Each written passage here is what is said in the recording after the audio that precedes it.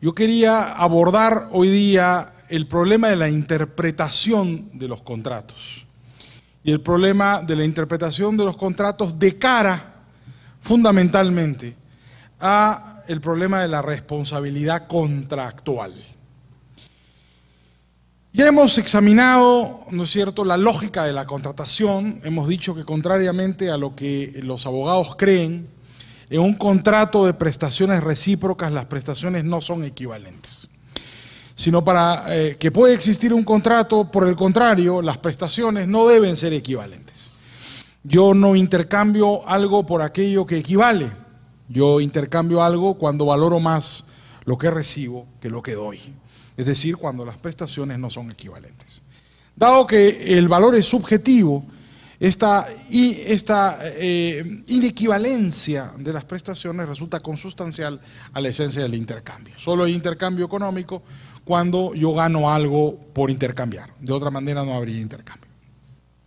La pregunta es, para iniciar esta conversación, si el incumplimiento de un contrato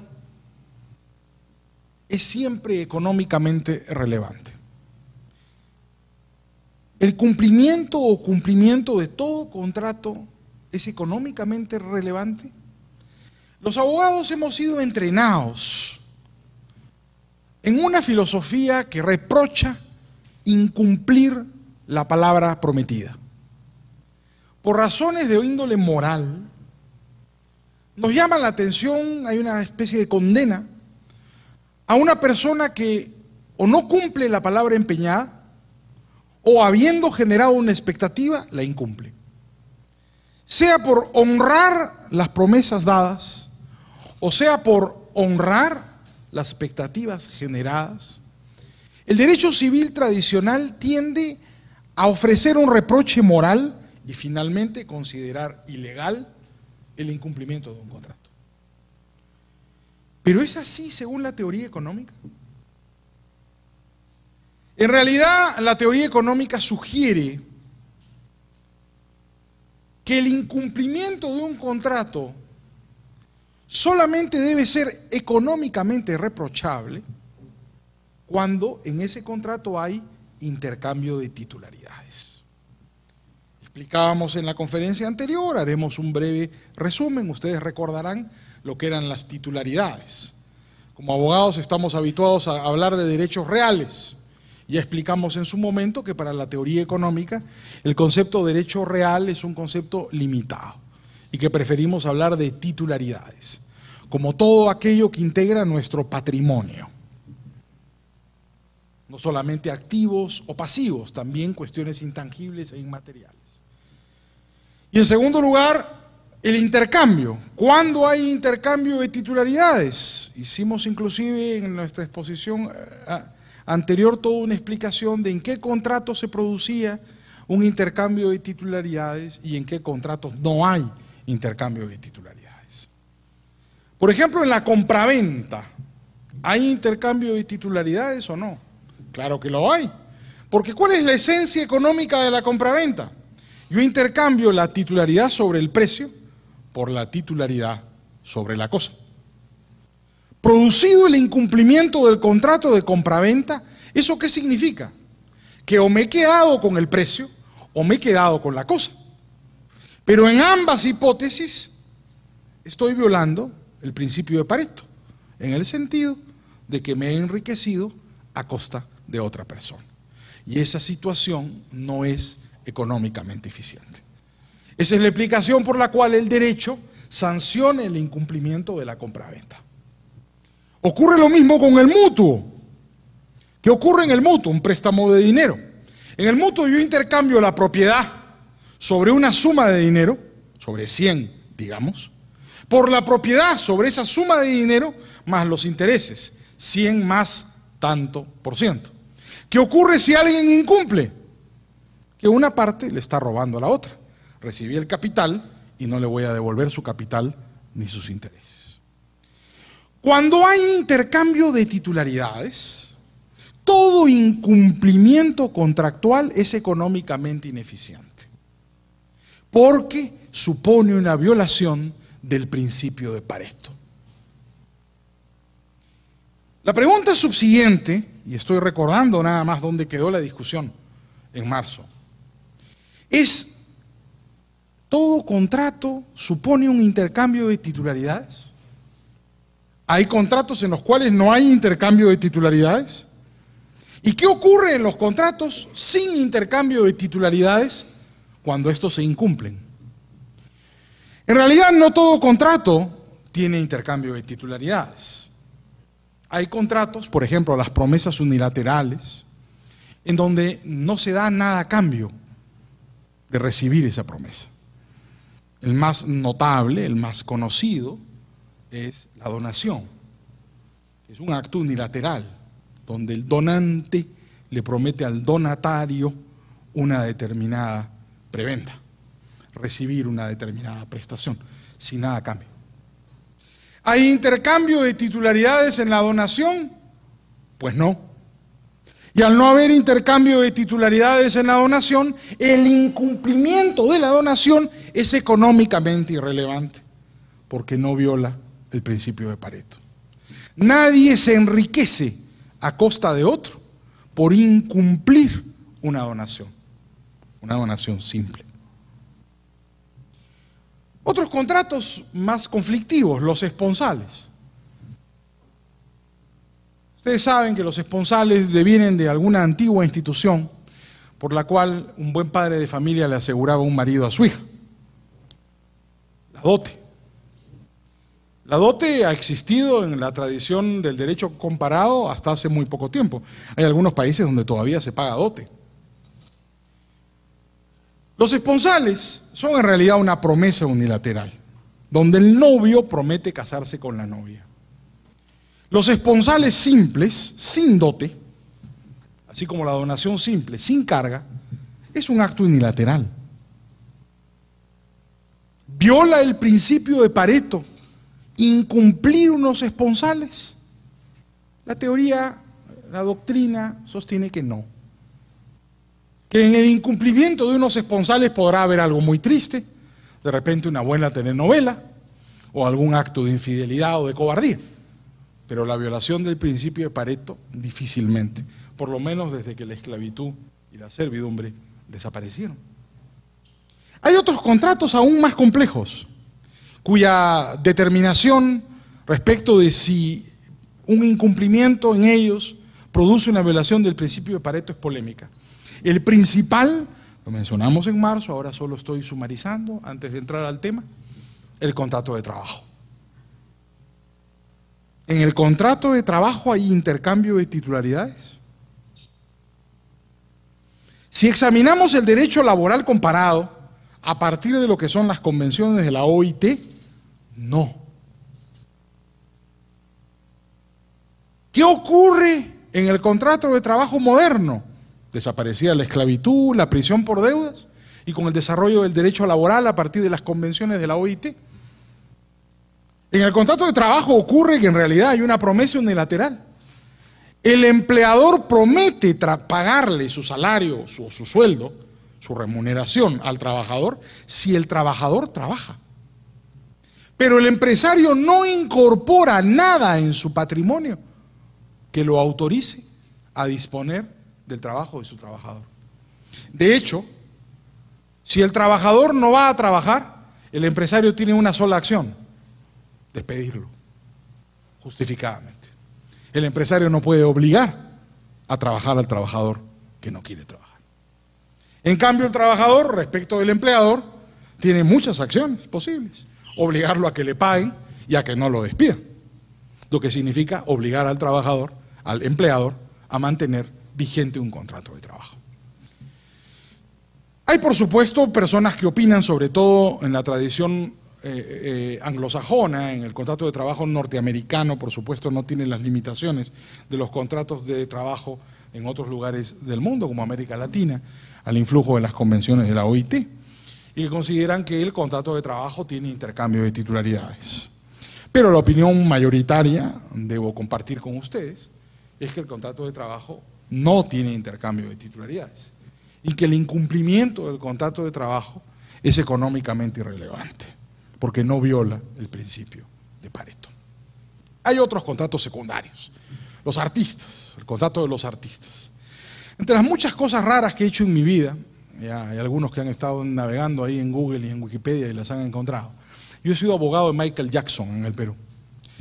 Y claro, eso mientras Michael Jackson estaba vivo y era famoso era una curiosidad, pero una vez muerto se convirtió en un tema por el cual todos los periodistas me preguntan.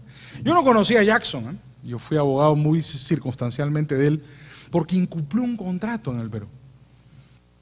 Había dos conciertos, el señor llegó a Lima y no se bajó su avión y se siguió de largo con el Estado Nacional vendido para dos fechas consecutivas. Entonces hubo juicios, inclusive a Jackson le abrieron instrucción penal por estafa.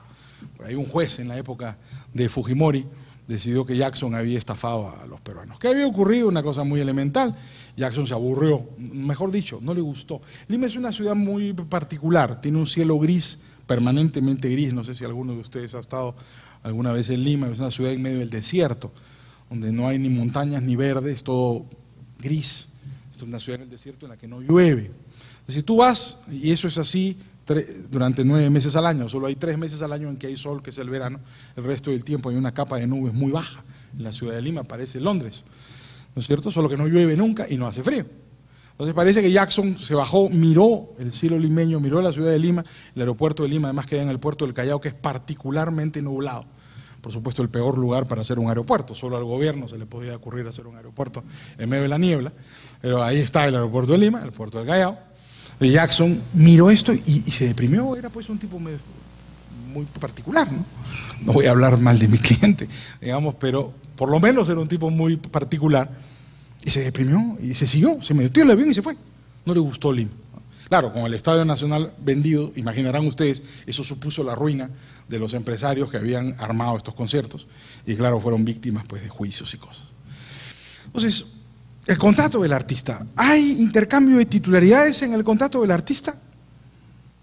Eso no está muy claro, es una variante del contrato de trabajo. Si yo canto, tú me tienes que pagar, pero tú me puedes obligar a cantar. Me puedes obligar a bailar. Me puedes obligar a recitar una poesía. ¿Qué pasa si no me dan la gana? No hay esclavitud.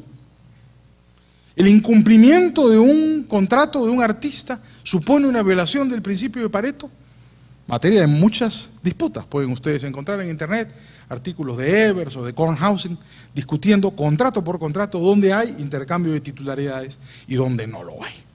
Había una famosa cantante de ópera, creo que les conté en, en la conferencia anterior, que se llamaba María Callas, una griega, fue la primera esposa de Aristóteles Onassis.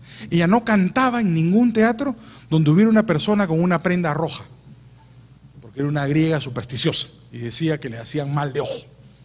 Entonces, en los teatros de Europa, ella fue una de las grandes sopranos de todos los tiempos, la gente en la puerta del teatro andaba con unas capas negras y se veían una señora inadvertida que llegaba con un vestido rojo, un abrigo rojo, un señor con una corbata roja, le ponían una capa negra.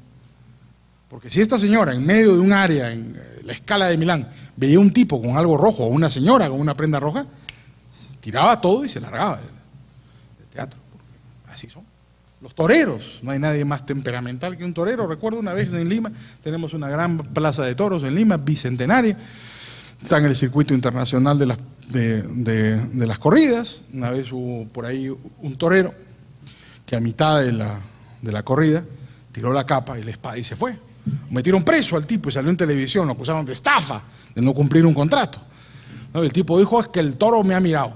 Claro, digo, claro que te ha mirado y el toro no solo te ha mirado, te quiere matar por estarlo pinchando. Entonces, claro que lo miró, yo no tengo absolutamente ninguna duda de que lo ha mirado, pero al andaluz este, gitano, le parecía pues que el toro le estaba haciendo una brujería, una fuerza extraña, que lo llevó a salir del coso taurino. Son anécdotas o no, pero sirven para ejemplificar un hecho. No todo contrato supone un intercambio de titularidades. Y solo cuando hay intercambio de titularidades en el contrato es posible, económicamente mejor dicho, es relevante su incumplimiento. ¿Por qué? ¿Por qué solo en los contratos con intercambio de titularidades es económicamente relevante su incumplimiento? Porque el incumplimiento de esos contratos supone una situación violatoria del, principio de Pareto. Es decir, en es, cuando se incumple un mutuo, cuando se incumple una compraventa, cuando se incumple un arrendamiento, cuando se incumple una permuta, alguien se beneficia a costa de otra persona. Y cuando uno se beneficia a costa de otro o a costa de los demás, esa situación es económicamente ineficiente porque viola el principio de Pareto, según el cual es eficiente una situación en la cual nadie puede mejorar a costa de que la situación de otro empeore. Recordando estos elementos, demos un siguiente paso, que es el que nos toca el día de hoy. ¿Cómo examinar y cómo sancionar el incumplimiento contractual? Si admitimos que no todo incumplimiento es relevante, sino solamente en aquellos casos en los cuales se viola el principio de Pareto, es decir, donde haya intercambio de titularidades, ¿cómo proceder en un caso de incumplimiento contractual?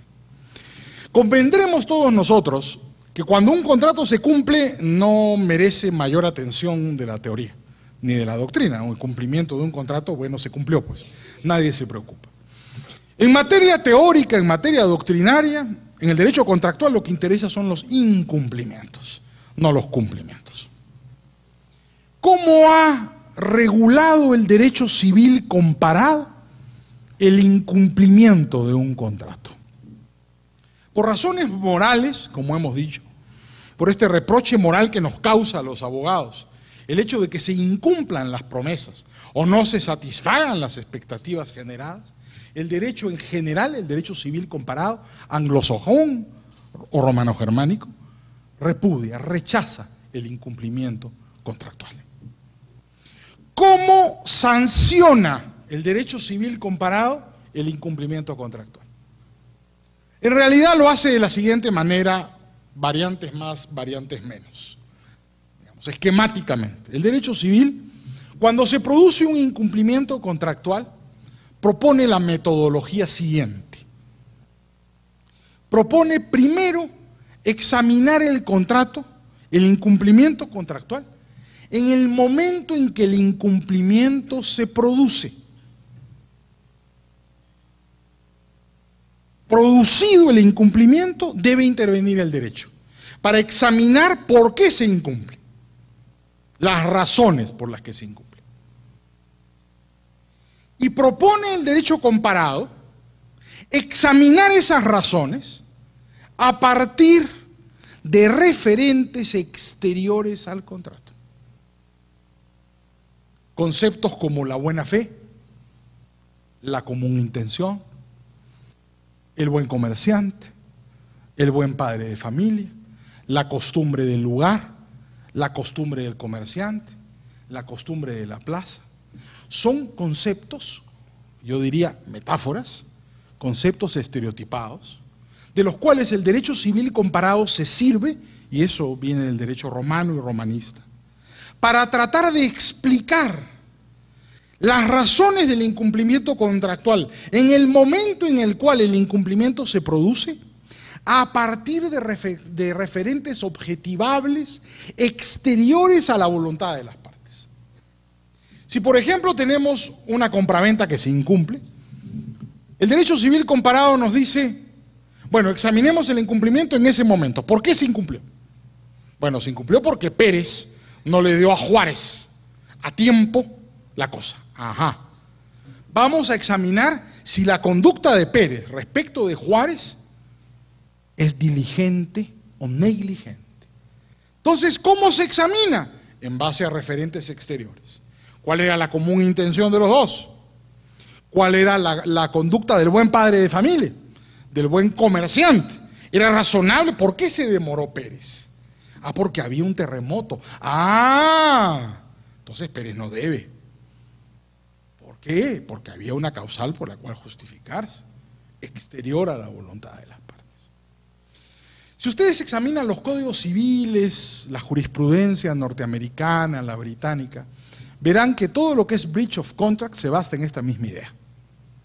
En la idea de examinar el incumplimiento en el momento en que se produce y en utilizar para esclarecer las razones de las partes referentes exteriores a la voluntad de las partes que sirven como una especie de muletilla, ¿no es cierto? Los lógicos dirían como una especie de paradigma al cual referir una conducta en particular. ¿Era razonable que actuaras así? ¿No era razonable que actuaras así? ¿Se acostumbra en ese sitio? ¿Se acostumbra en ese negocio? ¿no? Por ejemplo, entre los navieros, hay tantas costumbres entre los navieros. ¿Cómo se examina el incumplimiento de un contrato de fletamento? No, hay que ver cuál es la costumbre, pues. No, no, aquí lo que hay que ver es si eso, esa conducta era razonable según la costumbre entre los navieros. Así nos han entrenado los abogados, ¿eh? de todas las culturas jurídicas. Tendemos a pensar de esa manera. Examinar el incumplimiento en el cual, en el momento en el que se produce y utilizar referentes exteriores a la voluntad de las partes. ¿Qué propone el análisis económico del derecho? El análisis económico del derecho propone una metodología diferente para examinar el incumplimiento contractual. Metodología que la teoría, la doctrina, ha denominado la reconstrucción del contrato perfecto. Schaffer y Ott, en su célebre libro Manual de Análisis Económico del Derecho, que utilizan muchas facultades del mundo para explicar el análisis económico del derecho, le llaman a esto la metodología de la reconstrucción del contrato perfecto. Primero, antes de entrar a explicar la metodología, este, quisiera hacer una precisión. Cuando se dice que el análisis económico del derecho postula una aproximación diferente basada en la reconstrucción del contrato perfecto, no significa que el análisis económico del derecho proponga una solución platónica, idealista, que haya que inventar un contrato ideal, perfecto, que sirva como un referente a los contratos que utilizamos cotidianamente e imperfectamente los abogados. No. En realidad la terminología puede ser un poco equívoca. ¿Qué propone el análisis económico del derecho? El análisis económico del derecho parte de una tesis. Supone que en todo contrato, explícita y sobre todo implícitamente hay un régimen de responsabilidad pactado por las partes. Y sostiene que el derecho civil lo que ha hecho es ignorar ese régimen de responsabilidad y tratar de imponer uno ajeno a la voluntad de las partes. Y que eso es profundamente ineficiente y llega a situaciones de gran ineficiencia económica. Que lo que y eso es debido a que los abogados tradicionales, desde Roma, no tenemos conocimientos de teoría económica. Y no sabemos leer la voluntad de las partes para deducir de ella el régimen de responsabilidad que está implícito en un contrato.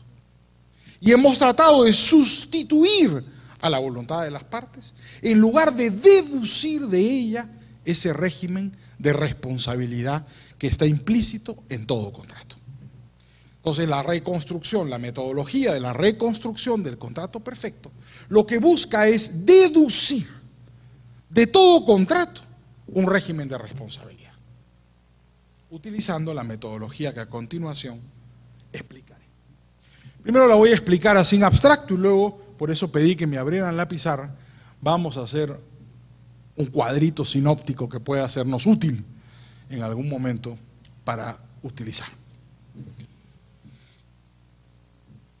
¿Cómo se reconstruye el contrato perfecto? ¿Cómo es posible sacar conclusiones respecto de supuestos implícitos en un contrato? Sin estar violando la voluntad de las partes ni haciendo literatura eh, fantástica. Bueno, porque en teoría económica las cosas significan y los precios transmiten información. Los abogados que hemos sido formados en una tradición positivista, de espaldas a la teoría económica, tendemos a considerar a los precios como un hecho más, cuando ocurre que los precios no son un hecho más. Los precios, como ustedes saben mucho mejor que yo, por sus cursos de proceso económico, son un mecanismo de información. No solo son un mecanismo de información macroeconómica, que nos dan información respecto de la escasez relativa o abundancia relativa de los bienes y servicios. Los precios también son un mecanismo de información microeconómica. La tesis es la siguiente. Los precios no solamente nos dan información respecto a los bienes y servicios que se intercambian en ese contrato. Los precios tienen implícito un régimen de responsabilidad que con la formación económica apropiada nos puede permitir deducir cuál era el régimen de responsabilidad pactado por las partes. ¿Cómo se reconstruye el contrato perfecto? ¿En qué consiste la metodología de la reconstrucción del contrato perfecto? Cuando tenemos un incumplimiento contractual, lo primero que tenemos que hacer es hacernos una pregunta. ¿Frente a qué tipo de contrato nos encontramos? Ustedes tienen más frescos que yo los conocimientos de derecho. Recordarán que definidos por sus prestaciones hay dos tipos de contratos. Los contratos de prestaciones recíprocas y los contratos de prestaciones autónomas. Los contratos de prestaciones recíprocas se caracterizan porque a una prestación corresponde otra. Ejemplo clásico, la permuta, la compraventa, el mutuo, el arrendamiento. Yo doy, tú das. Yo doy, tú haces. Tú haces, yo doy. A una prestación corresponde otra. Los contratos de prestaciones autónomas son, por el contrario, aquellos contratos en los cuales una prestación no tiene correlato de otra, sino cada parte ejecuta su prestación con independencia de la prestación de los demás. Ejemplo, me dirán ustedes de ese contrato tan singular, la sociedad, pues, la sociedad mercantil. En la sociedad mercantil, en la sociedad anónima, en una empresa, en una corporación, yo deduzco mis derechos de socio, no del hecho de que tú cumplas con tus obligaciones de socio, como sería en la compraventa. De hecho, hay incepción de incumplimiento. Si tú no cumples en un contrato de prestaciones recíprocas, no puedes exigir el cumplimiento de otro.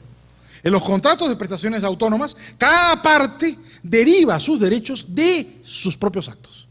¿De qué derivo yo mis derechos como accionista? De haber suscrito y pagado el capital. Si no he suscrito y pagado el capital, no soy accionista. Y yo no derivo mis derechos de que otro socio haya suscrito y pagado su parte correspondiente del capital. La primera pregunta que nos tenemos que hacer es entonces, ¿frente a qué tipo de contrato estamos? Si estamos frente a un contrato de prestaciones autónomas, este procedimiento no funciona. Si estamos frente a un contrato de prestaciones recíprocas, este procedimiento funciona. Si estamos frente a un contrato de prestaciones recíprocas, damos el siguiente paso. ¿Cuál es el siguiente paso? Preguntarnos, ¿hay intercambio de titularidades en este contrato? Si hay intercambio de titularidades en este contrato, podemos seguir adelante. Si no hay intercambio de titularidades en este contrato, no podemos seguir adelante. ¿Por qué? Porque si no hay intercambio de titularidades, el incumplimiento de ese contrato es irrelevante económicamente, ya que no viola el principio de Pareto. En cambio, si hay intercambio de titularidades, el incumplimiento de ese contrato supone una situación incompatible con el principio de Pareto y es, por tanto, ineficiente. Muy bien. Primera pregunta, contrato de prestaciones recíprocas, sí o no. Segunda pregunta, intercambio de titularidades, sí o no. Si la respuesta es afirmativa en, en, esta segunda pregunta, seguimos adelante. La siguiente pregunta que tenemos que hacernos es si ese contrato tiene cláusulas explícitas de responsabilidad. Porque si los, si los abogados han hecho bien su trabajo, ya hay una cláusula explícita de responsabilidad, la solución del incumplimiento es muy sencilla. Aplico la cláusula de responsabilidad. El problema está cuando los abogados, muchas veces los abogados, no hacemos diligentemente nuestro trabajo, nos da flojera o hay sistemas de contratación en y no hay cláusulas explícitas de responsabilidad. Y ahí comienzan los problemas, que son en la inmensa mayoría de contratos. Si no hay cláusulas expresas de responsabilidad, seguimos adelante en la reconstrucción del contrato perfecto. ¿Qué tenemos que preguntarnos? ¿Cuál es la tercera pregunta? El precio. ¿Cuál es el precio del contrato? ¿Por qué? Porque el precio transmite información. El precio no es irrelevante. A los abogados nos han entrenado en una tradición muy singular, que consiste en creer que los precios son irrelevantes. Los precios transmiten información. No solo información sobre lo que compro y lo que vendo, lo que arriendo o no. No solo información sobre lo que recibo prestado o tomo prestado. Información respecto del régimen de responsabilidad implícito en un contrato. El profesor Posner, gran defensor de esta metodología, como ustedes saben, Richard Posner, uno de los padres fundadores del análisis económico del derecho, junto con Guido Calabrese, ambos discípulos de Ronald Coase, eh, es un juez. Él ha llegado a decir, en una frase que muchos consideran presuntuosa, que él como juez no lee las demandas, tampoco lee las contestaciones de las demandas, que en realidad tampoco escucha a los abogados que no le interesa, que es inútil. Que una vez que has escuchado un divorcio, has escuchado todos los divorcios. Que una vez que has escuchado un pleito por una compraventa, has escuchado todas las compraventas. Que una vez que has escuchado un pleito por un arrendamiento, has escuchado todos los arrendamientos. Que todos son iguales, que todos dicen lo mismo, que repiten paralexemas, es decir, unidades de razonamiento estereotipadas. Uno usa un tipo de ataque, otro usa un tipo de defensa, como el ajedrez, ¿no? que a una apertura siciliana corresponde una defensa de Ruy López. Y así es de aburrido el derecho como el ajedrez. ¿Para qué vas a mirar una partida de ajedrez? Ya sabes cómo termina desde el momento en que se inicia. ¿Qué dice Posner? ¿Cómo, cómo sentencia Posner? Lo ha contado él. ¿eh? Él dice que sentencia pregunta, haciendo una sola pregunta. ¿Cuál es el precio? Y no escucha a nadie. Él le basta el precio, por eso dicen que es presuntuoso para sentenciar. ¿Por qué? Porque solo hay tres posibilidades.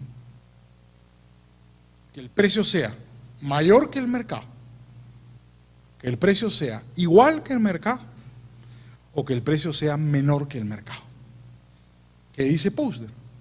Que si el precio es mayor o menor que el mercado, el precio nos transmite información respecto del régimen de responsabilidad implícito en ese contrato. Las partes al alterar el precio de mercado han incorporado al precio un régimen de responsabilidad. Aunque no lo digan, los precios no son irrelevantes. Los abogados no se pueden sentar en el precio y considerarlo microeconómicamente irrelevante y referirse al buen padre de familia, a la costumbre del comerciante, a referentes exteriores abstractos, cuando las partes están diciendo algo implícito en el precio. Cuando las partes alteran el precio del mercado es porque han pactado algo más que un mero precio. Han pactado un régimen de responsabilidad. ¿Qué dice Posner? Cuando el precio es mayor que el mercado, significa que las partes le han transferido al vendedor el riesgo del contrato. Y cuando el precio es menor que el mercado, significa que las partes le han transferido al comprador el riesgo del contrato. Entonces Posner dice bien fácil. Yo lo único que pregunto es el precio. Si el precio está por encima de las partes, sentencio al vendedor. Si el precio está por debajo del mercado, sentencio al comprador. Ya está. ¿Para qué quiero escuchar a nadie? Es así nomás. Así de sencillo se resuelve un pleito comercial. Que no me inventen argumentos. Porque los precios suponen incorporar un mecanismo de información. Si altero el precio subiéndolo, es porque el vendedor está quedándose con el riesgo contractual. Por eso le pago más que el mercado. Yo estoy dispuesto a pagarle a alguien más que el precio del mercado. La diferencia entre comprar un Mercedes-Benz y comprar un Tico, ¿no es cierto? Es precisamente esa. ¿Por qué? Si prácticamente lo mismo, en términos de ingeniería, desde el mismo auto. ¿Por qué pago yo un Mercedes-Benz lo que vale el precio del Mercedes-Benz a diferencia del precio de un Tico o de los autos estos hindús de 3 mil dólares? ¿Por qué? Porque el señor vendedor está por ese precio reteniendo el riesgo contractual. Lo contrario, si salgo a comprar un par de zapatos y el par de zapatos cuesta tres soles, que fue un ejemplo famoso que hubo un caso en el Perú de, de protección al consumidor, no puedo pretender que me duren como un par de zapatos que valen 100 dólares, porque efectivamente el precio supone algo. Un par de zapatos de 100 dólares probablemente serán de cuero, o de algo más o menos resistente. Un par de zapatos de tres soles, que es un dólar, son zapatos de cartón, que fue un famoso caso que hubo en el Perú. Una persona que fue a una zapatería y compró muy baratos unos zapatos que eran de cartón corrugado, pero que parecían de cuero. Claro, hubo una lluvia, y eso que en Lima no, no llueve, y los zapatos se disolvieron y planteó una demanda diciendo me han engañado. Entonces, ¿qué le dijo el tribunal de Indecopi? El tribunal de Indecopi, presidido en, esa época por el profesor Alfredo Bular, que ha venido muchas veces a esta universidad y es mi colega, el profesor de análisis económico del derecho en la Universidad Católica también, mientras yo soy en la Universidad de Lima, Alfredo, que era presidente del tribunal, dijo, oye, pues el precio significa algo, pues, el precio, eh, o sea, acá no se va a proteger ni la ignorancia crasa ni la ingenuidad supina. Comprar unos zapatos de un dólar era que compraste unos zapatos de papel. Pues.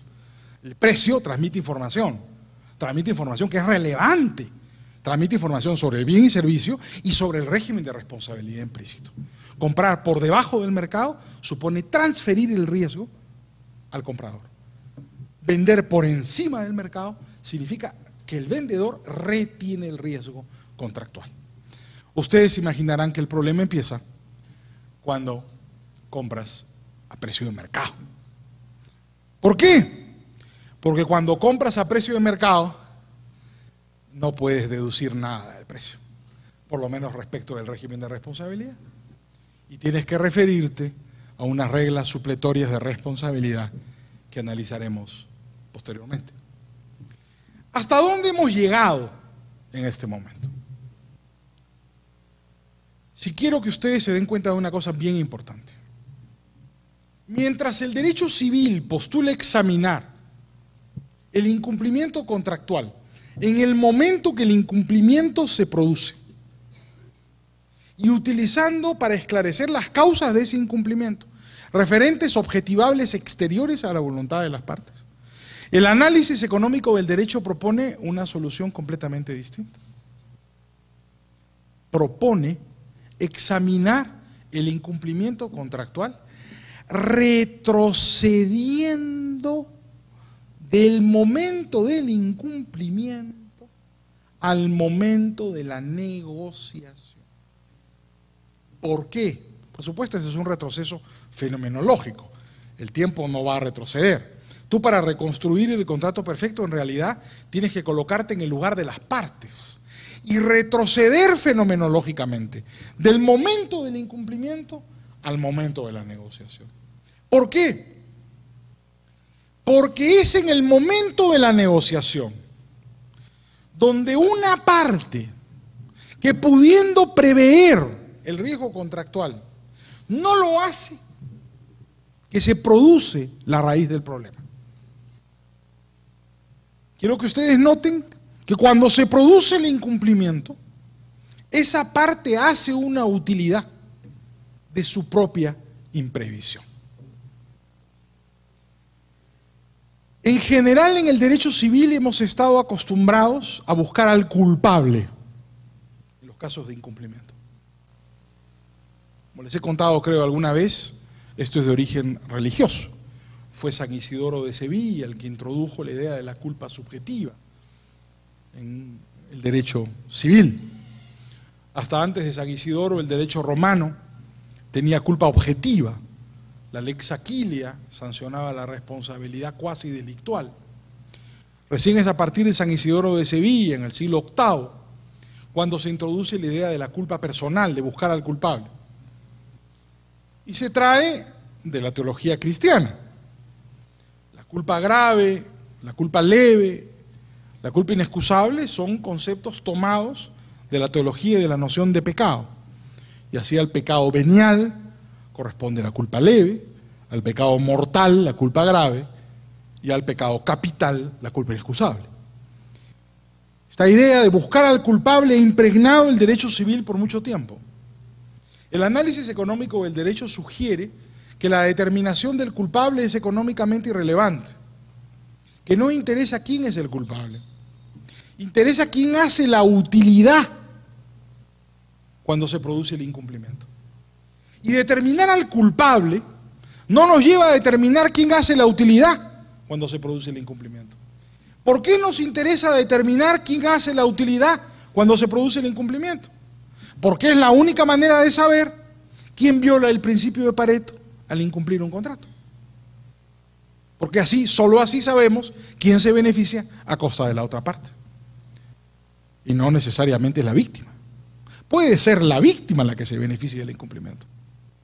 Y nuestra obsesión moral, moralista, judío-cristiana, también islámica, ¿no es cierto?, de buscar al culpable, nos lleva por un camino económicamente irrelevante. Sancionar al culpable puede no tener consecuencias económicas favorables. Pero no solamente el análisis económico del derecho supone una modificación cronológica, digamos, en la apreciación de los incumplimientos. Pasar de examinar el incumplimiento en el momento en que se produce a retroceder en el tiempo al momento en que se negocia el contrato para determinar cuál es el régimen de responsabilidad que las partes establecieron. Sino también supone dejar de utilizar referentes exteriores a la voluntad de las partes y utilizar referentes interiores a la voluntad de las partes. Por eso el análisis económico del derecho considera que hay que revalorizar la importancia del precio, que los abogados ignoramos por completo. Consideramos absolutamente irrelevante. En algún código civil se considera el precio como una noción significativa para la determinación de la responsabilidad contractual. Precio es un hecho circunstancial. Debe existir en algunos contratos, pero es absolutamente irrelevante. No se deduce del precio nada, sencillamente porque los abogados no hemos sido educados debidamente en una tradición económica, en una formación económica. ¿En qué consiste entonces la metodología del contrato perfecto? Y ahora me van a permitir alejarme de este micro, espero que el de la corbata funcione, o, este no, si funciona, para tratar de graficar la metodología de la reconstrucción del contrato perfecto que hemos visto en primer lugar. La primera pregunta que tenemos que hacer es si hay prestaciones recíprocas en un contrato.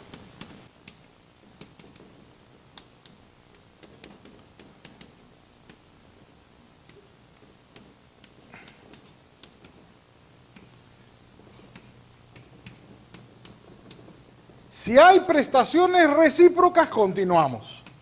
Y la segunda pregunta que nos hacemos es si hay intercambio de titularidades.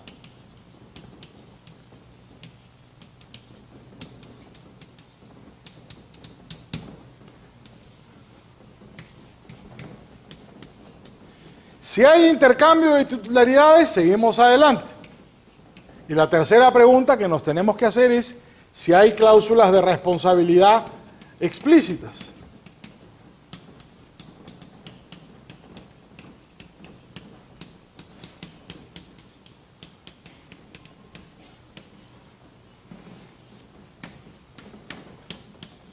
Si no hay cláusulas de responsabilidad, seguimos adelante.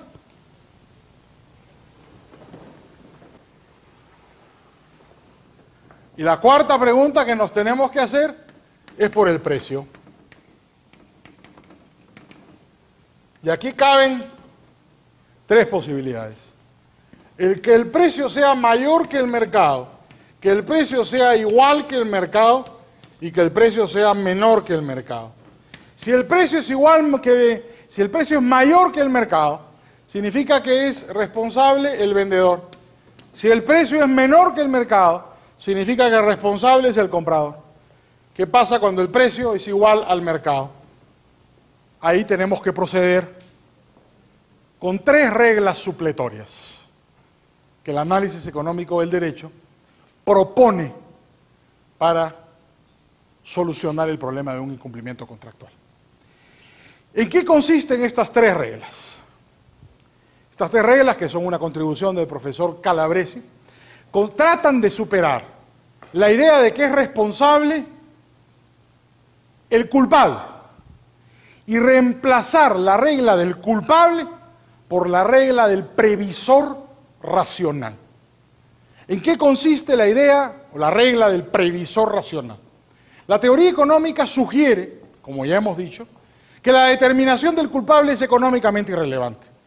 Saber quién es el culpable de un incumplimiento no nos sirve para nada, porque no nos lleva a descubrir quién hace la utilidad del incumplimiento. Lo que tenemos que hacer es tratar de determinar quién, al momento de la negociación del contrato, pudiendo prever el riesgo contractual y alterar el precio en función del riesgo contractual, no lo hace. Porque producido el incumplimiento, es él el que hace la utilidad de su propia imprevisión. Y a esta regla, Guido Calabresi la denomina la regla del previsor racional. Él sostiene que el derecho civil está equivocado, absolutamente equivocado, en materia de regulación de incumplimiento contractual. y que lo que debe ser, debe cambiarse las reglas de los códigos civiles y de la jurisprudencia y dejar de sancionarse a aquel que por sus hechos, descuido o imprudencia cause un daño a otro. Porque eso es irrelevante. No interesa el causante, interesa el previsor racional, es decir, aquel que pudiendo prever al menor costo posible el riesgo del contrato no lo hace modificando los precios en el momento de la negociación del contrato. ¿Por qué? Porque al producirse el incumplimiento, él es el que hace una utilidad de su propio incumplimiento. El problema está en que no llegamos muy lejos, llegamos hasta el precio. Y con la propuesta de Posner solucionamos un montón de problemas. Digamos, esto podría ser muy fácil de sentenciar, nos ponemos a, sentenciar causas ahorita.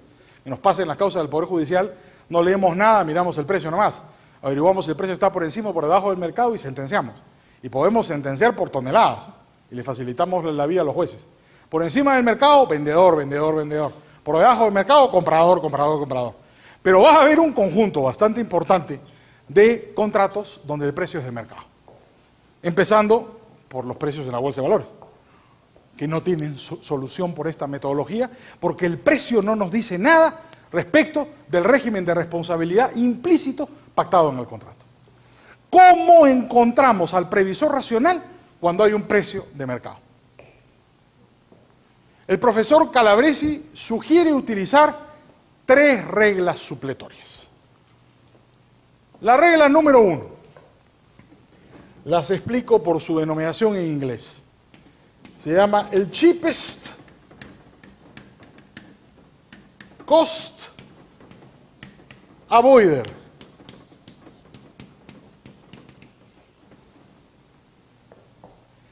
La regla de chip es cosa Boyer. Fíjense que todo esto supone una seguir minuciosamente las, etapas. No podemos saltarnos las etapas, seguir de frente a buscar quién es el chip es cosa Boyer. ¿Quién puede evitar eh, eh, el riesgo al menor costo posible? No, no. Primero tenemos que preguntarnos todo lo anterior. Para poder llegar acá, como son reglas supletorias, tenemos primero que estar seguros que es un contrato de prestaciones recíprocas con intercambio de titularidades sin cláusulas expresas de responsabilidad, donde el precio es un precio de mercado. Solo ahí podemos utilizar las reglas supletorias de Calabrese. La regla número uno es, no pregunten por el culpable, porque esto no es un confesionario. Si quieren solucionar un problema económico, un problema contractual, no pregunten por el culpable. Siendo el precio de mercado, Pregunten por quién tuvo el costo de previsión menor. Debe ser responsable el que pudo prever el riesgo al menor costo posible. Entonces ustedes me dirán cómo se determina quién pudo prever el riesgo al menor costo posible. Hubo un famoso juez norteamericano llamado Lerner Hand, que tiene un nombre bastante curioso, a mí siempre me llamó la atención, Lerner Hand. Primero por el apellido, Hunt. Y en segundo lugar, el nombre, Lerner, ¿no? Aprendido Hunt. Yo pensaba que era un indio. Este, y lo busqué en internet, es un famoso juez.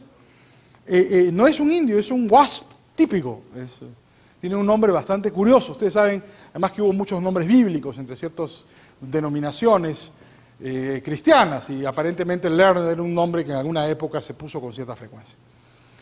El juez Hunt proporciona en una decisión judicial muy famosa, llamado Carroll Tawin versus USA. Eso lo pueden encontrar ahí en internet los que estén navegando ahora mismo.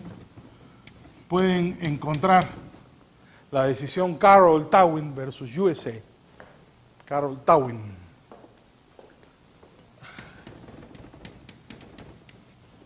Proporciona lo que la teoría del análisis económico del derecho ha dado en denominar la regla de Hand, el Hand Rule, que sirve para establecer, en un caso judicial, quién es el cheapest cost avoider.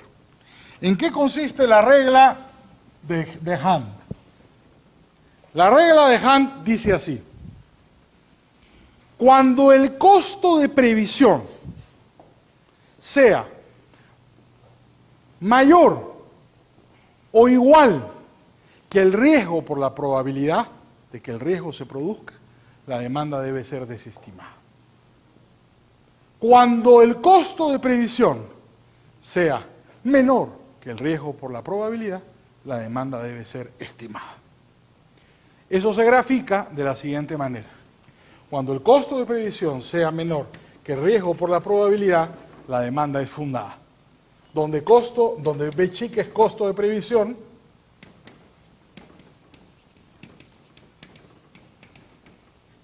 ese es riesgo y Q es probabilidad.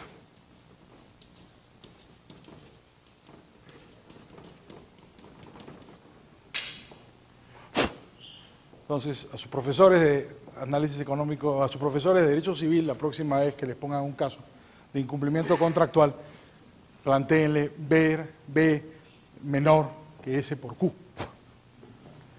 Así se resuelve un caso de responsabilidad extracontractual en los arbitrajes hoy día, en arbitraje internacional, nadie utiliza las reglas del culpable, todos usan la regla del previsor racional propuesta por el profesor Calabresi. ¿Qué significa eso? Que cuando el, cuando el riesgo tiene un costo mayor, que cuando el costo de previsión, perdón, es mayor que la, ocurrencia del riesgo por la probabilidad de, que ocurra, sencillamente no le vas a pedir a nadie que, que incurra en ese costo. Igual cuando es igual. Pero cuando el costo es menor que el riesgo por la probabilidad, evidentemente ese debió haber incurrido en ese costo. Y por tanto, producido el incumplimiento, él debe pagar la indemnización, aunque sea la víctima. Porque él tenía el costo de previsión menor. Carroll Towen versus USA es un caso emblemático en el cual se produce una colisión de una barcaza contra un muelle en uno de los docks del puerto de Nueva York. Es un caso de los años 40. Donde la resolución de Hunt, la, regla de Hunt, Hunt soluciona el problema alegando, ¿no es cierto?, que había una imposibilidad para Carroll Towing, que era la, empresa que se encargaba de remolcar, de ser sancionada, pese a que era la culpable del accidente, porque el costo de previsión del accidente era absolutamente imprevisible e impagable por Carroll Towing, porque tenía que ver con la fluctuación de las mareas, y que no había forma como Carol Towing hubiera podido tener, en esa época no había satélites, pero con la tecnología disponible en esa época, el costo para prever un repentino aumento de marea, ¿no es cierto?, era tan, tan alto que no se le podía exigir a la empresa de remolques por parte del gobierno federal de Estados Unidos cumplir con observarlo, porque sencillamente era un costo demasiado elevado, mucho mayor que el riesgo que y la probabilidad de que el riesgo se produjera. Un cálculo actuarial simple llevó al juez Lerner Hunt a la conclusión que la demanda debía rechazarse. Y de ahí se deduce, en la teoría económica del derecho, esa regla, la regla de Hunt, la utiliza Calabresi para proponer que en lugar del culpable nos debemos preguntar quién es el cheapest cost avoider. ¿Cómo? Utilizando la regla de Hunt. Hay un caso célebre que ustedes probablemente, del que ustedes probablemente han oído hablar es el caso de una señora que se quema con café en McDonald's. No me acuerdo el nombre de la litigante, pero es muy famoso. Una señora de cierta edad que va con su nieto, ¿no es cierto? Y compran una taza, no una taza, sino un vasito de café en un McDonald's en la ciudad de Albuquerque, me parece, en Nuevo México. Y esta señora lo compra en el drive-thru. Y posteriormente, cuando avanza con el auto el nieto, la señora se quema y le pone un juicio a McDonald's. El alegato es, ¿no es cierto?, que vendía un producto peligroso, que McDonald's no debería vender café caliente a los autos, ¿no? Porque el café caliente es un producto peligroso, que le ha producido unas quemaduras en tercer grado en las zonas pudendas y que por consiguiente exige una indemnización. Al final la señora gana el juicio. ¿ah? La defensa de McDonald's va dirigida, no sé por qué, pero generalmente esto es estudiado como un problema de protección al consumidor. Pero McDonald's hizo una defensa diciendo que no vendía café caliente, sino café en la temperatura correcta y que no era un producto peligroso, que era el café a la temperatura correcta y que todo el mundo sabe que el café no se usa pues para ponerse entre las piernas, como hizo la señora. ¿No es cierto? Desde chiquitos, la primera regla que te enseñan, ¿no es cierto? Es a soplijito, cuidado que te quemas. Todos nos hemos quemado muchas veces. Y sabes que las cosas calientes hacen daño, pues si tú soplas, no te lo vas a poner entre las piernas, frenó el nieto y la señora se quemó. Entonces, al final primó esta visión proteccionista y sancionaron a McDonald's, me parece, con la indemnización de dos días de ventas de café en todo Estados Unidos a favor de la señora que fue varios millones de dólares. Olvidémonos, digamos, esos son los hechos y olvidémonos de cómo lo resolveríamos nosotros. Pensemos ese problema de responsabilidad contractual, convendremos que es un problema de responsabilidad contractual, ¿no es cierto? Con intercambio de titularidades. ¿Satisface o no, no nuestra regla? A ver, examinemos el caso de la señora. Prestaciones recíprocas hay, intercambio de titularidades, claro, precio por café. Cláusula de responsabilidad no hay, precio de mercado. Muy bien, yo les pregunto, ¿quién es el chip cosa Boider? ¿La señora o McDonald's? ¿Quién tuvo un costo de previsión menor que el riesgo por la probabilidad? ¿Quién pudo prever ese riesgo contractual mejor? ¿La señora o McDonald's? Lo que McDonald's hizo después de que fue derrotado fue que puso una advertencia, el famoso disclosure de información, ¿no? esta idea americana de que uno descarga su responsabilidad diciéndole al otro. ¿no? Entonces, por eso yo a, mi edad ya no leo nada, ¿no? pero en las tacitas de café hay pues unas letritas chiquititas que dicen esto está caliente, tenga usted mucho cuidado, no se lo ponga entre las piernas, no se lo eche a la oreja, no se lo ponga en el ojo. Todo un disclosure enorme como los que hay en las puertas de Disney cada vez que subes a, la, a la montaña rusa. Se basan en la misma idea. ¿no? Ustedes me imagino que van, van al cine han visto que después de que acaban las películas, los créditos, hay gente que se queda hasta el último. A mí me encanta quedarme eh, hasta el último. Y al final salen unas letritas que dicen eh, eh, cualquier coincidencia, esto es pura ficción, cualquier coincidencia con hechos de la vida real es una mera coincidencia, etcétera, etcétera.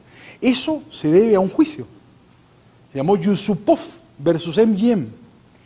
Después de la Segunda Guerra Mundial, fue a vivir a Estados Unidos el príncipe Yusupov Imagino que ustedes saben por sus vastos conocimientos históricos que el príncipe Yusupov fue el asesino de Rasputín.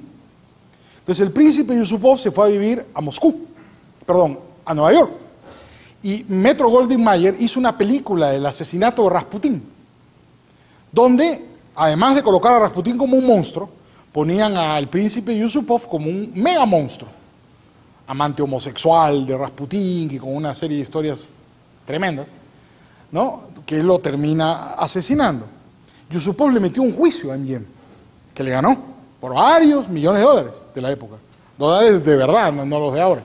Dólares oro, ¿no es cierto?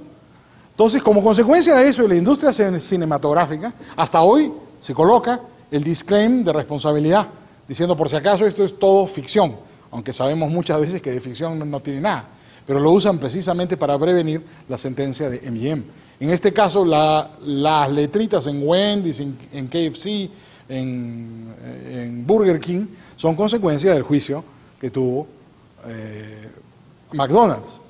Cuando tienes abierto un establecimiento al público, tienes que esperar conductas absurdas de la gente. ¿ah? Yo tenía un cliente que tenía un restaurante y me decía que nunca había visto cosas más extrañas que en su restaurante. Que la gente hace cosas absurdas. ¿Te puedes explicar? Eh, gente adulta, educada, que llega, ¿no es cierto? Y de repente tú ves que están con el jamón limpiándose las manos o agarrando el lente de contacto y echándolo al agua tibia. la cantidad de cosas absurdas que ves en un restaurante son infinitas. La idiotez humana no tiene límites. Entonces, claro, tú con los taquitos también te podrías limpiar la cara con una toalla japonesa, ¿no es cierto? o con una tortilla, puedes hacer cualquier cosa, la imaginación es infinita. Entonces, una señora que se ponga una taza de café o un vasito de esos de plástico de café entre las piernas, no debió hacerlo, pero no es una de las cosas más absurdas que puedes hacer en un restaurante. ¿eh? Hay cosas mucho peores. Digamos, el café no está para llevarse entre las piernas, pero en el extremo de cosas ridículas que la imaginación humana da, esa no es particularmente ridícula. Sí, era con respecto a, un criterio que yo sostengo que es la subjetividad de determinar quién puede prever razonablemente la probabilidad que suceda el riesgo. Digamos, mi posición eh, es que en, el, caso que usted planteó, McDonald's pudo haber previsto ese riesgo y, y por ende, digamos, le, la corte falló posteriormente que tenía que ponerse el caution when hot y las eh, otras medidas que tomaron. Eh, ¿Tú crees que entonces el cheapest cost avoider era McDonald's y no la señora, como proponen algunos de tus compañeros. Correcto, y sobre todo, digamos, porque McDonald's es el, es el proveedor del servicio y hay un sinnúmero en el mercado de, personas que demandan ese servicio, entonces tiene que prever ese riesgo. Creo que sí es una máquina distinta la que se está usando en ese momento y entonces McDonald's sabe cómo manejar ese tipo de, productos y debería también de, informar la elaboración y el resultado que puede presentarse. Por lo tanto, creo que también McDonald's en este caso podría ser responsable de dar la información. ¿Alguien más piensa que McDonald's es el cheapest cosa avoide? También para decir de que definitivamente McDonald's tenía, tenía la responsabilidad de prever más una situación como la ocurrida a que un consumidor que, que no se dedica a eso y... De acuerdo, es decir, los que creen que McDonald's es responsable, destacan en la regla de Hunt la Q, riesgo por probabilidad, porque la probabilidad mata a McDonald's. Si McDonald's vende, no sé, digamos una exageración, 10 eh, millones de tazas de café en el mundo al día, que creo que vende masa, como son de consumidores de café los gringos que toman ese café aguado horrible todo el día, es decir, ¿cuántos millones de tazas de café venderán? digamos que vende 10, por exagerar. Y la pobre señora se eh, tomará cuántos cafés? ¿Dos? ¿Tres? Ya, tres cafés, este, cuatro cafés te mueres, ¿no es cierto? Pero este, ¿No? Entonces, la probabilidad, la regla es la misma regla de Han. Han no, no dice cuando el riesgo, sea, cuando el costo de previsión sea menor que el riesgo. No, él dice cuando el costo de previsión sea menor que el riesgo por la probabilidad. Entonces, si es, muy probable para ti, tú eres el cheapest cosa hoy. Entonces, desde el punto de vista de la teoría económica, el famoso fallo este está, justificado, lo justifica buena parte de la doctrina. Dice que McDonald's era el cheapest cosa voy. Además, eh, recordemos una cosa, dicho sea de paso, eh, eh, Calabresi, si bien es un hombre de una, de una posición un poco más de izquierda, fue educado en la tradición de Chicago. Posner es un Chicago Boy, toda la escuela de Chicago tiene un concepto de costo eh, objetivo. La gente de Chicago cree que se puede determinar el costo objetivamente. Inclusive el concepto Coasiano de costo de transacción ha sido objeto de gran crítica, hasta por el mismo Coase. Ustedes saben que Coase nunca usó el término costo de transacción. El concepto costo de transacción es desarrollado por la vulgata Coasiana, los discípulos de Coase. Dicho sea de paso, el profesor Coase cumple 100 años la próxima semana va a haber una mega conferencia en Chicago, donde van todos, todos sus discípulos en 100 años, todos sus, además todos sus discípulos, de la cual hay media docena de premios Nobel, ¿no? Van a rendirle homenaje al viejo que cumple 100 años de edad y que dicta clases todas las semanas en la Universidad de Chicago. No auditorios grandes, auditorios muy pequeños, pero va todas las semanas a dictar clases en la Universidad de Chicago, 100 años de edad. Y es probablemente el economista vivo más importante de todos los tiempos. Además, la contribución de Coase, nunca ha escrito un libro. Lo curioso de la contribución de Coase es que es eh, uno de los economistas más influyentes de la historia, con dos características centrales. Una, que no es formalmente economista, sino abogado. Y la segunda es que nunca ha escrito un libro. Ha escrito papers. ¿Qué papers? ¿no? Pero ustedes habrán visto, ¿no es cierto?, la naturaleza de la empresa, creo que tiene seis páginas. Probablemente es uno de los intelectuales que menos ha escrito, a los cuales se, le ha dado un premio Nobel. Alguna vez leí que solo era superado por un francés de apellido Babinski, que ganó el premio Nobel de Medicina, y que su trabajo era una página, una carilla, y que le dieron el premio Nobel de Medicina, porque describió un reflejo que ocurre en el cuerpo humano cuando hay un grave accidente cerebrovascular. Entonces, su descripción del reflejo, que se llama el reflejo de Babinski, tiene una paginita. Después de ese señor, Coase es el que menos ha escrito. Y le han dado eh, el premio Nobel, lo cual es, digamos, una demostración no de que Coase es flojo, sino de que él es un hombre de pocas palabras y cuando escribe algo es porque es algo realmente importante. ¿no? Entonces, valga la pena ya que todo este seminario gira en torno a las ideas de Coase, finalmente el análisis económico del derecho es inventado por Coase. ¿no? Su creador cumple 100 años la próxima semana y la primera semana de diciembre en la, en la Facultad de Economía y de Derecho de Chicago se hace una mega conferencia que reúne a todos los premios Nobel vivos que han sido sus alumnos. ¿no? que es una, probablemente además cada uno va a presentar una ponencia, va a ser un, un, mega evento ¿no? y va a hablar el, el mismo Coase. Bueno, hay otro ejemplo clásico que se usa para tratar de determinar quién es el cheapest cost avoider y es el del accidente en el zoológico, cuya solución es parecida al del, al del, al, del accidente en el McDonald's. Es un caso clásico, nacen un, unos tigrecitos en un zoológico, creo que el zoológico de San Diego, ¿no es cierto? Y una abuelita va con su nietecito a ver a los tigrecitos. ¿No? Entonces, este, por supuesto, estaban todos los carteles y las medidas de seguridad habituales en el zoológico para que nadie metiera la mano a acariciar a los tigrecitos. Y ocurrió en un descuido de la señora lo que ocurre en estos accidentes, que, el niñito metió la mano a la jaula y la tigresa le arrancó un brazo. ¿no? Ese, fue el desenlace. Entonces, el, el, tema era, primero, ¿es contractual o extracontractual? Bueno, hay una entrada zoológico, digamos, contractual. ¿no? El zoológico te ha pre, proveído de un servicio ¿no? que tú podrías alegar te han incumplido, pues, ¿no? Porque yo voy a ver un tigre no que me arranquen un brazo y he pagado una entrada que supone un nivel de control y seguridad a los animales. En realidad los zoológicos son bastante más peligrosos de lo que la gente cree. ¿eh? Yo recuerdo haber ido una vez en un, alguna de las cosas extrañas que he hecho en mi vida al zoológico de Pekín. Y en el zoológico de Pekín, el sitio al que todo el mundo va, aunque no fue el que más me impresionó a mí. Les confieso que a mí me impresionó más que la jaula de los osos panda, a la que todo el mundo va, la jaula de los lobos. No, no sé si alguna vez ustedes han visto un lobo, animal impresionante. Una jaula de unos lobos chinos que eran unas cosas enormes. ¿sí? Entonces tú creías que tú estabas mirando al lobo. En realidad el que te miraba era el lobo.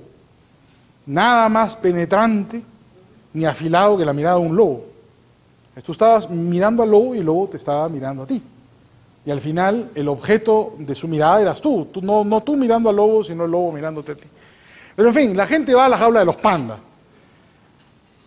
¿Cuál fue mi sorpresa en la jaula de los pandas? Que no hay jaula, sino que es una especie de pecera gigante con unos vidrios enormes como los de los bancos, esos vidrios de seguridad cuádruples, quíntuples. Entonces los osos panda están adentro y caminan por aquí, y la gente está al otro lado y le dan besos a los osos panda a través del, del vidrio. Yo le pregunté a, la guía, oye, pero ¿y por qué es así? Me dijo, porque estábamos aburridos de que la gente pretendiera acariciar a los osos panda o darle besos. Los osos panda son unos osos. La gente cree que es un muñeco. ¡Ay, qué lindo! Dice, ¡pah! Le mete un mordisco, le arranca un brazo. Un oso. La gente cree que es un, un muñequito, qué bonito, lo ven grande con su carita linda. Es un oso.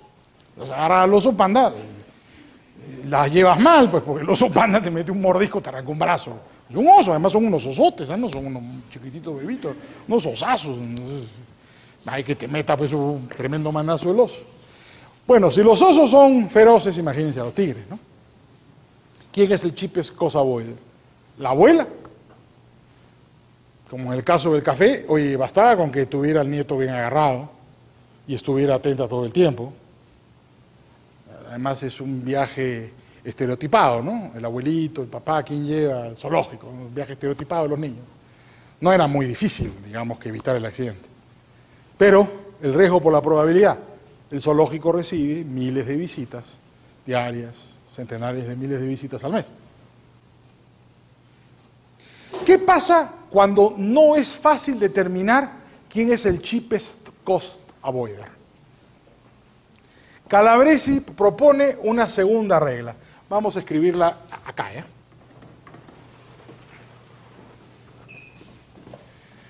¿Qué pasa cuando no podemos precisar o determinar con precisión cuál es el cheapest cost avoider? ¿O quién es el cheapest cost avoider? ¿Quién tuvo un costo de previsión siguiendo la regla de Hunt menor que el riesgo por la probabilidad? Calabresi propone una segunda regla supletoria que debe aplicarse por su orden. Primero, cheapest cost avoider. La segunda regla propuesta por Calabresi es la regla del cheapest insurer. ¿Qué significa? Que debe ser responsable aquel que pudo asegurar el riesgo con la prima más baja. ¿Por qué? La misma lógica. Porque aquel que pudo asegurar el riesgo con la prima más baja en el momento de la negociación del contrato, producido el incumplimiento posterior, hace una utilidad de su propia previsión, imprevisión. Por tanto, él se coloca en una situación incompatible con el principio de Pareto y debe ser responsable. No importa si causó o no el daño, no importa si causó o no el incumplimiento. Lo que importa es que pudo haber contratado una prima de seguros para asegurar el riesgo al menor costo y no lo hizo. Y producido el incumplimiento hace una utilidad consecuencia de su propia imprevisión. El problema es que si para determinar quién es el cheapest cost avoider tenemos que utilizar la regla de Hunt y tratar de establecer el costo de previsión por el riesgo y la probabilidad, en el caso de la determinación de quién es el cheaper insurer, el asunto es un poquito más complicado y requiere una pequeña explicación preliminar. Imagino que ustedes llevan cursos de seguros. No sé, ¿hay, hay curso de derecho de seguros en la facultad? ¿No? Conferencias. debería haber un curso de derecho de seguros, no es una crítica, pero este, es una cosa demasiado importante en el mercado moderno. Pero en fin, en teoría de los seguros se dice que hay tres tipos de conducta, tres tipos de actitud de las personas respecto de los seguros, que están los amantes del riesgo, que están los neutrales al riesgo y que están los adversos al riesgo. Y se dice que estas conductas son fenomenológicas, es decir, todos nosotros somos en algún momento de nuestra vida amantes del riesgo, en otro momento neutrales del riesgo y en otro momento adversos al riesgo. Cuando somos jóvenes, como ustedes, seguramente ninguno está asegurado. Cuando te casas, te conviertes en neutral al riesgo. Cuando comienzas a trabajar, te conviertes en neutral. Y cuando te casas y tienes hijos, en adverso al riesgo. Y cuando eres viejo, recontra adverso al riesgo, solo que ya nadie te quiere asegurar. ¿Eh? Entonces, todos somos en algún momento de nuestra vida amantes adversos, neutrales al riesgo. ¿no? O salimos de una situación, si nos va bien económicamente, somos amantes del riesgo. Si nos va mal económicamente, nos comienza a dar miedo el futuro y nos volvemos adversos al riesgo. ¿Por qué es relevante esto? Es relevante porque el amante del riesgo generalmente no se asegura. El neutral al riesgo se asegura solo cuando es estrictamente necesario. Y el adverso al riesgo se asegura siempre por las puras. La teoría económica proporciona una explicación de cuándo una persona desarrolla una conducta amante del riesgo, de cuándo una persona desarrolla una conducta neutral al riesgo y cuándo una persona desarrolla una conducta adversa al riesgo. Dice la teoría económica que estas conductas son desarrolladas por las personas como una función de la utilidad y del ingreso. Todos ustedes saben la diferencia entre ingreso y utilidad. Es muy sencilla, ¿no? El ingreso es todo lo que tú recibes. Supongamos que ganas 100. Es tu ingreso. ¿Cuál es tu utilidad? 100 menos tu gasto. Es decir, tu ingreso menos tus gastos, digamos, son 98, te da como utilidad 2. Tu ingreso es todo lo que ganas, tu utilidad es lo que te queda detraído tus gastos. Muy bien, ¿qué dice la teoría económica? Que la actitud de las personas respecto de los seguros es una función de la utilidad y del ingreso. ¿Cómo? Las personas cuya utilidad crece menos que proporcionalmente su ingreso desarrollan una conducta adversa al riesgo. Las personas cuya utilidad crece igual que proporcionalmente su ingreso desarrollan una conducta neutral al riesgo. Y las personas cuyo ingreso crece más que proporcionalmente, que su utilidad, perdón, crece más que proporcionalmente su ingreso, desarrollan una conducta amante del riesgo. La explicación es muy sencilla y casi obvia. Si tú ganas tanto, si tu utilidad, lo que tú ganas finalmente, tu ingreso menos tu gasto, lo que te queda en el bolsillo, es tanto, crece mucho más que tu ingreso, ¿para qué te vas a asegurar? ¿Te autoaseguras? Pues ganas un montón de plata. ¿Gastar plata en póliza de seguros? Nunca. Por el contrario, si no ganas plata, aunque tengas ingreso alto, tu utilidad es pequeña, tu utilidad crece menos que tu ingreso, ¿qué ocurre? Tienes problemas para prever gastos imprevisibles. Puede haber una enfermedad. ¿Cómo financias una enfermedad si tu utilidad crece menos que tu ingreso? ¿Eso cuándo ocurre? Cuando tienes familia. Ganas bien de repente, pero tienes tres hijos, entonces ya tienes problemas. Entonces, ¿qué haces? Tomas una póliza. ¿Para qué? Para lo más grave. Médico, muerte, incendio, qué sé yo. Tu patrimonio, los elementos centrales de tu patrimonio, si es el patrimonio, el capital humano, tomarás una póliza de enfermedad y muerte. Porque tu utilidad crece menos que proporcionalmente tu ingreso. Si eres neutral al riesgo, ¿cuándo te aseguras? Solo cuando es estrictamente necesario. ¿Por qué? Crece par y paso. Tu utilidad crece igual que tu ingreso. Entonces tú estás, estás contás. ¿no? Pero puede haber una circunstancia que tengas que financiar algo. Entonces, cuando es estrictamente necesario y no puedes cubrir con tus utilidades tus riesgos futuros, los aseguras. Muy bien. ¿Eso qué supone? Supone lo siguiente. Digamos que amante del riesgo es A mayúscula. Neutral al riesgo es N y adverso al riesgo es A minúscula. ¿Cuándo se asegura un amante del riesgo? Nunca. No. Se asegura una en una situación, solo en una. Cuando la prima, lo que paga, ¿no es cierto? Cuando la prima sea menor que el riesgo por la probabilidad. Es decir, si gana plata de asegurarse, se asegura. Si la prima es mayor que el riesgo por la probabilidad, jamás se asegura el amante del riesgo. Y si la prima es igual al riesgo por la probabilidad, ¿para qué? Se asegura cuando hace negocio hasta de asegurarse. Ese seguro está barato, compro tres. ¿Te das cuenta? Porque la prima es menor que el riesgo por la probabilidad, me aseguro. El amante del riesgo se asegura en un solo supuesto. Cuando la prima es menor que el riesgo por la probabilidad. ¿Cuándo se asegura el neutral al riesgo? Cuando la prima es menor o igual al riesgo por la probabilidad. ¿Estamos de acuerdo? El neutral al riesgo se asegura. Cuando es menor, claro, como el, como el amante del riesgo, porque está ganando plata. Pero se asegura también cuando llega a ser igual al riesgo por la probabilidad. ¿Cuándo se asegura el adverso al riesgo? Siempre.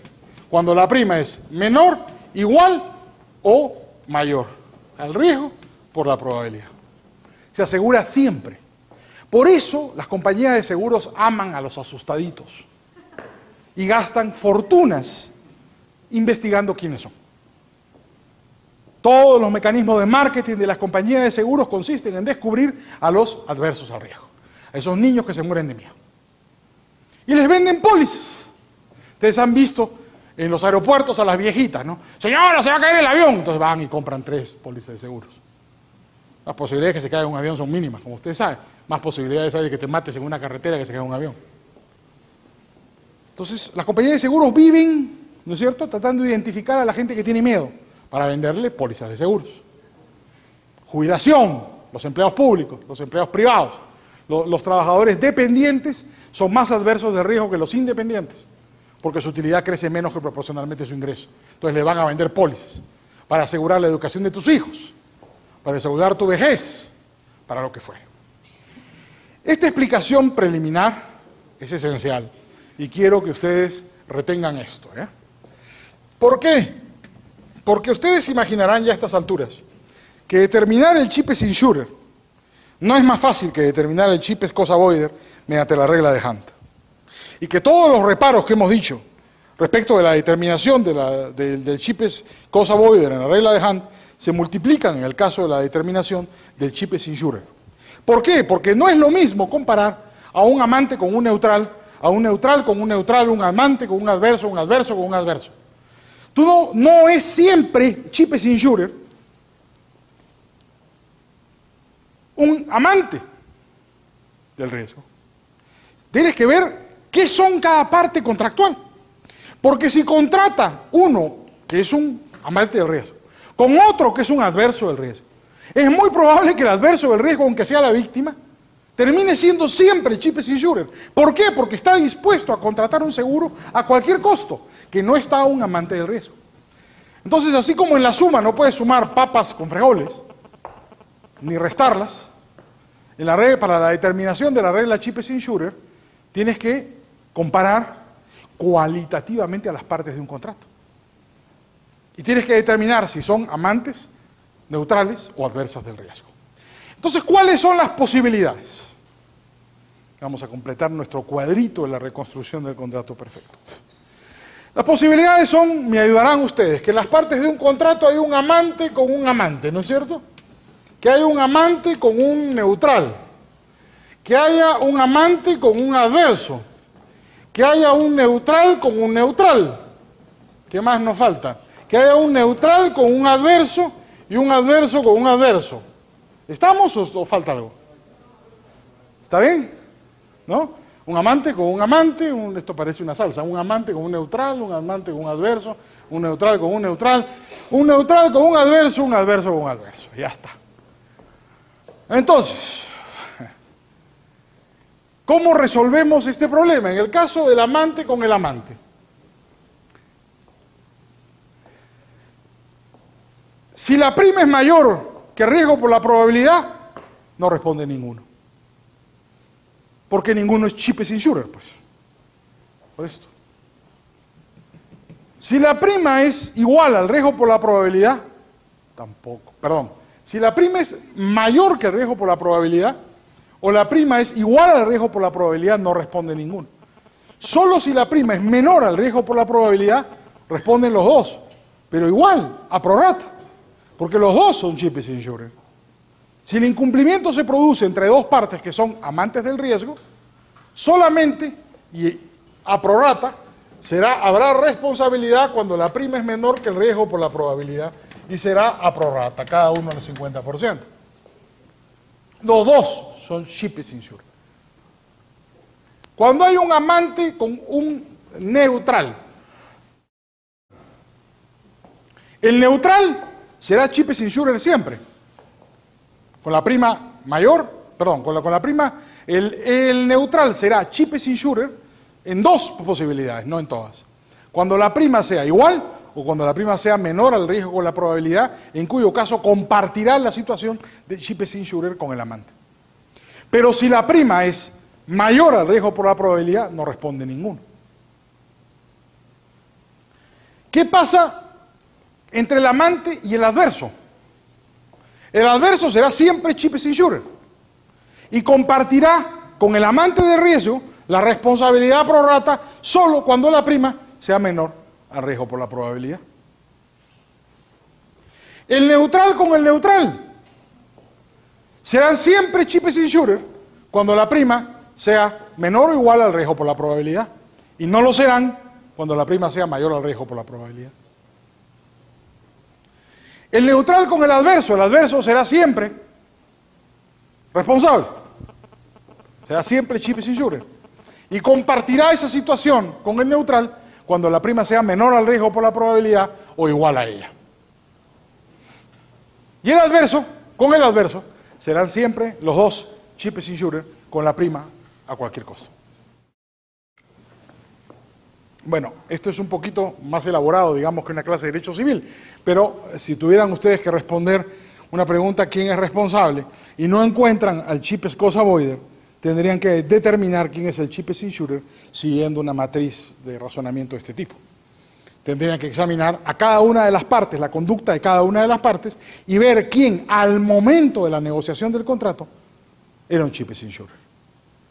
En función, ¿no es cierto?, de los niveles de la prima y el riesgo y la probabilidad de cada uno de ellos. Primero hay que determinar si son amantes neutrales o adversos del riesgo. Si ustedes tienen, por ejemplo, un especulador en bolsa, será siempre un amante del riesgo. ¿No es cierto? Si tienen un empleado público, será siempre un adverso del riesgo. ¿No? Si tienen un empleado privado, probablemente será un neutral al riesgo. Pero no pueden ustedes asumir que uno de ellos será Chipes Insurer necesariamente. Hay que ver primero que se tengan conductas homogéneas y que sean comparables. Porque este procedimiento abstracto no es fácil de esclarecer. Calabresi propuso una tercera regla que a mucha gente no le gusta. La regla número 3. Si no se puede establecer quién es el chipes cosa avoider y no se puede establecer quién es el chipes insurer, dice Calabresi, debe responder por el incumplimiento el más rico. Y a eso le llama la regla superior risk bearer. Debe responder el más rico, la parte económicamente más poderosa.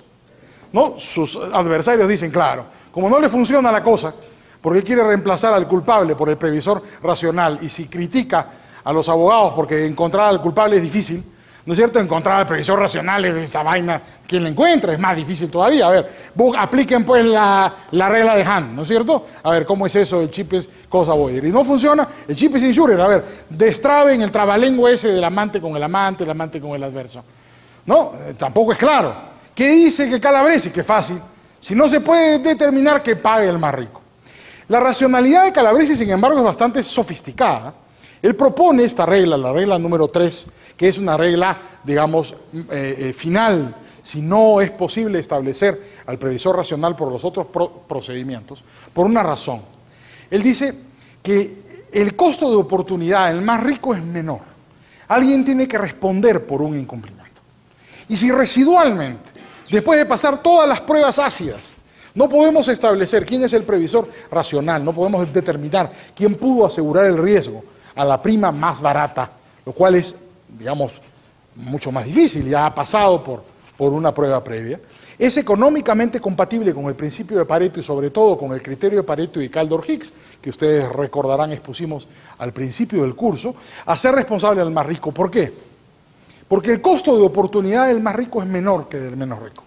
Entonces, si en una parte, digamos, si en un contrato hay un profesional individual y Walmart al frente, dice Calabresi, y no se puede establecer quién es Chip Cosa ni, ni Chip Insurer, hagamos responsable a Walmart. ¿Por qué?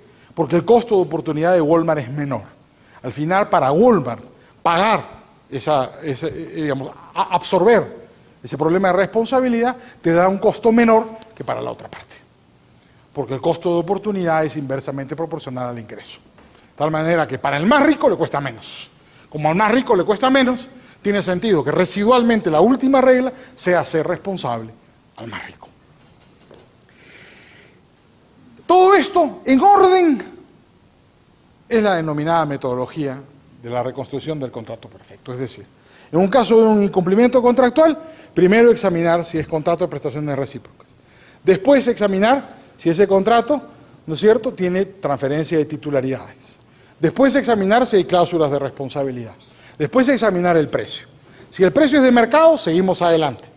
Si el precio no es de mercado, terminamos el asunto viendo si está por encima o por debajo del mercado, hacemos responsable al vendedor o al comprador respectivamente. Si el precio es de mercado, seguimos adelante con las reglas supletorias. Primero debe ser responsable el que pudo evitar el, daño al menor costo posible, prever el riesgo al menor costo posible, la regla Chipes cosa voy. Si no es posible, la regla Chipes Insurer debe responder por el incumplimiento el que lo pudo asegurar en el momento de la negociación con la prima más barata. Y si no es posible, paga el más rico. La parte más poderosa porque tiene un costo de oportunidad menor. El costo de oportunidad es inversamente proporcional al ingreso. Por consiguiente, debe pagar el más rico.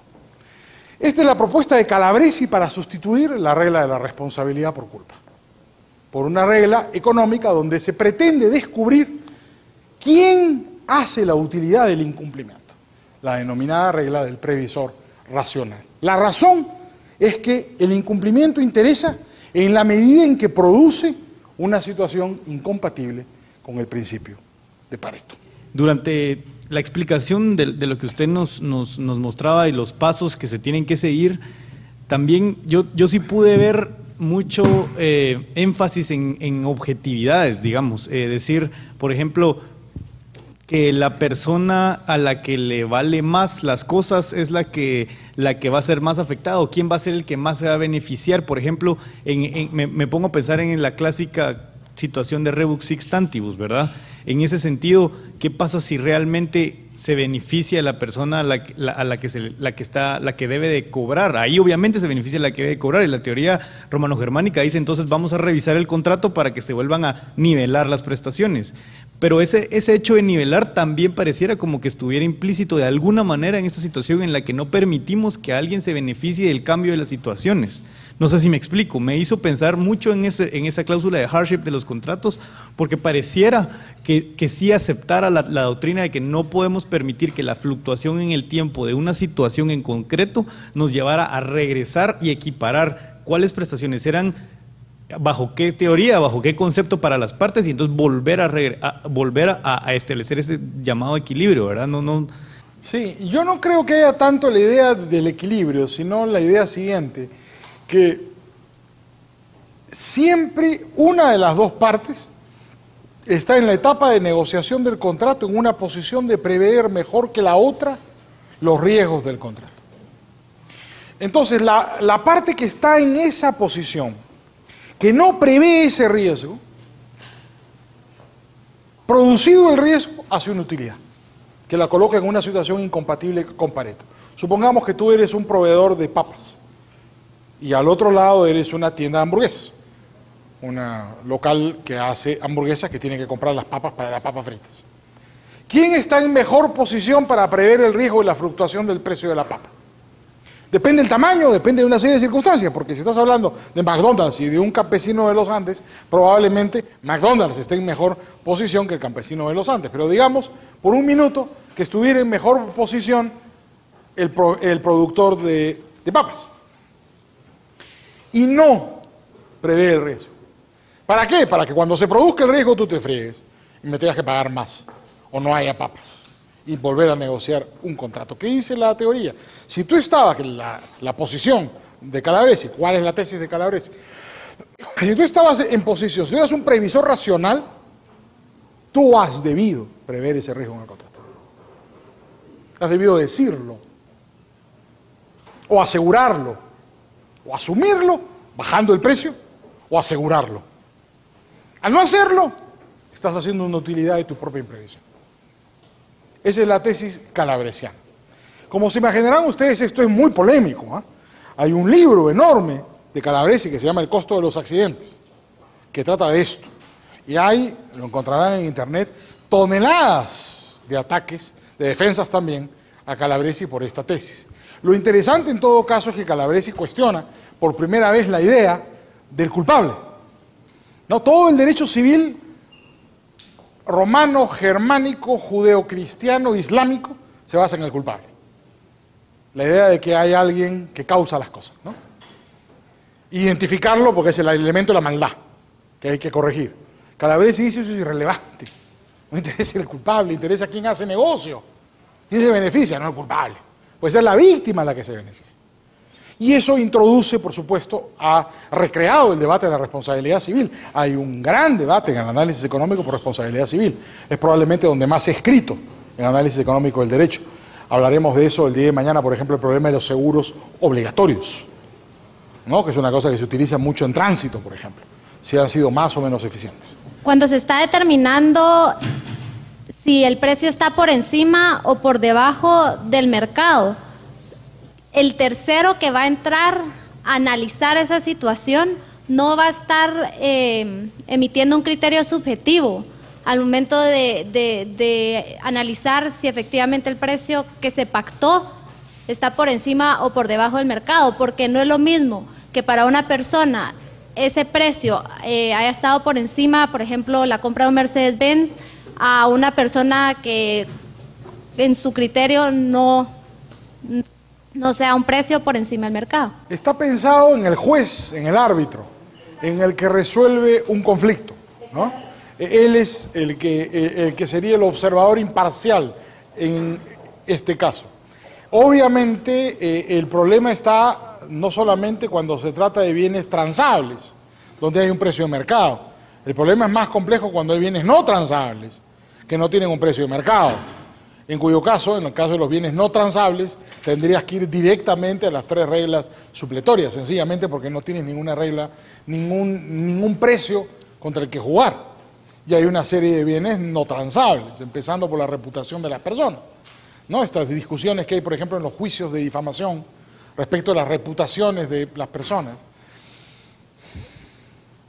Es un bien no transable. Claro, es mucho más fácil cuando se trata pues, de papas o de kilos de pollo, ¿no? porque hay un precio de mercado. Tú puedes establecer un precio, un precio de mercado, por supuesto, según las características del bien que estás comprando. Será finalmente un precio promedio, pero puedes llegar a un precio de mercado en caso de bienes transables. ¿no? Eh, el, gran, digamos, el, punto, y es lo interesante, ustedes saben que, que Calabrese y Posner no se quieren nada, pero lo interesante en la observación de Posner es que basta el precio, porque del precio tú puedes deducir, y es muy interesante esa observación, el precio significa algo. El precio te transmite, cuando el precio no es de, mercado, te transmite información respecto del régimen de responsabilidad sobreentendido por las partes.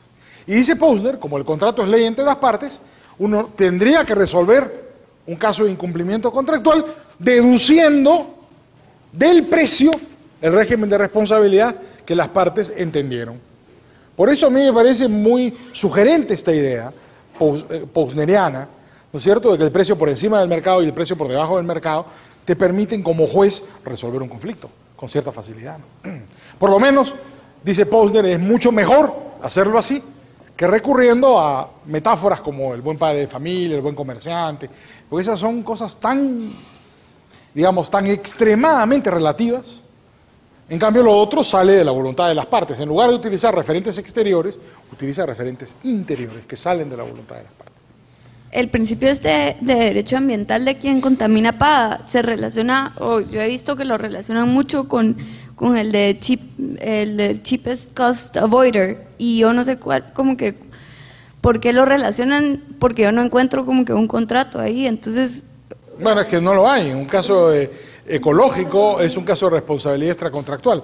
Mañana vamos a hablar a largo de eso, pero tiene que ver con las ideas de un señor que seguramente ustedes han oído hablar alguna vez, es el creador de la economía del bienestar, que se llama Arthur Chester Pigot. Arthur Chester Pigot convenció al mundo de que el mercado tenía defectos. Tenía razón. Lo que pasa es que no hizo notar que el Estado también tenía defectos y que lo que se trata no solo es de estudiar los defectos del mercado, sino de estudiar los defectos del Estado y de comparar los defectos de uno con los defectos de los otros y ver cuál es más defectuoso pero él convenció al mundo de que el único defectuoso era el mercado. Y fue un economista muy influyente en su época.